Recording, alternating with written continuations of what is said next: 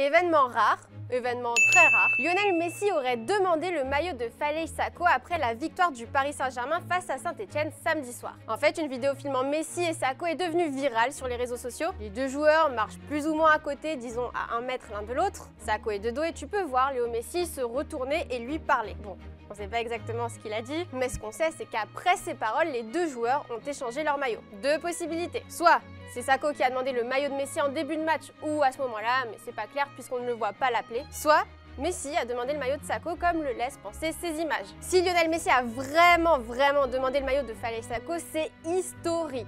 La Pulgane a demandé que le maillot de Zinedine Zidane dans sa carrière après un classico gagné 3-0 par les Catalans. Et c'est Messi lui-même qui l'avait expliqué lors d'une interview accordée à TIC Sports en 2006. Je ne suis pas du genre à demander des maillots. Normalement, je les échange, mais une fois j'ai demandé à Zidane de m'offrir son maillot. S'il y a un joueur argentin, j'échange deux maillots avec lui, mais je ne suis pas du genre à demander des maillots à moins que quelqu'un ne me le demande par gêne sûrement. La Pulga était donc peut-être tellement bluffée qu'elle a demandé le maillot de Sako. Samedi, l'arrière droit de la SSE a fait un bon match en gênant souvent par l'impact physique les Parisiens arrivant sur son côté. Il a aussi été l'auteur de 4 tacles, ne s'est jamais fait dribbler par les attaquants parisiens et a même contré la frappe puissante de Gay qui était bien parti à la 32e. Alors vous, vous en pensez quoi?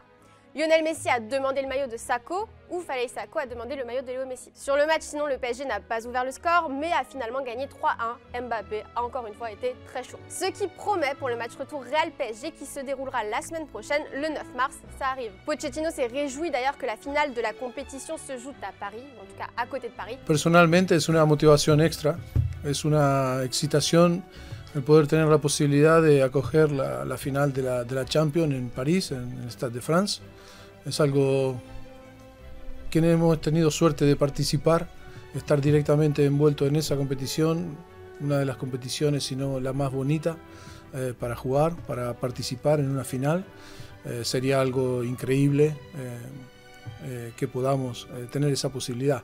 Pero queda mucho trabajo por delante antes de pensar en eso.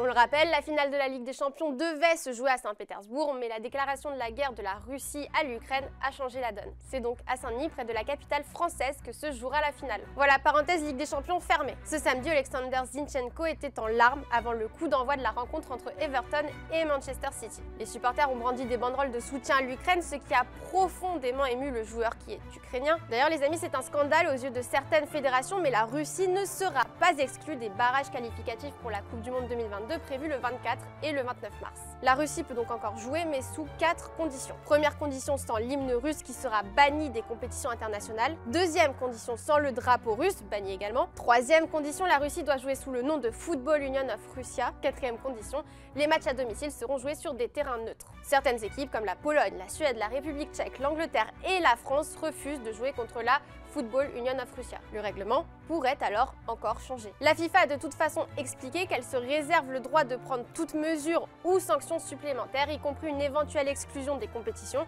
qui sera appliquée dans un proche avenir si la situation ne s'améliore pas rapidement. Alors selon toi, que devrait faire la FIFA?